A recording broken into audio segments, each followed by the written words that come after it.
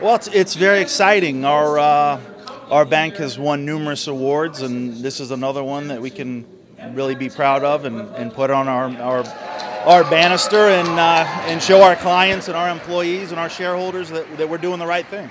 So it's exciting. Uh, personally, it's really exciting. I um, my boss. I want to thank my boss and my mentor and the president of our bank and, and chairman and our visionary, uh, Ken LaRoe. Without him, none of this is possible.